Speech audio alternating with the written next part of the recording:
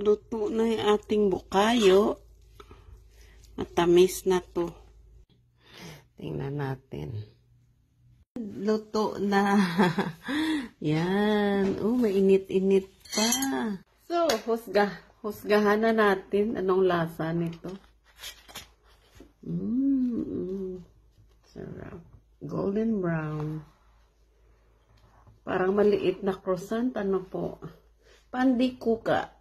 Ayan. So, ayan po siya. May coconut. Ooh. Hmm, syrup natin. Hmm.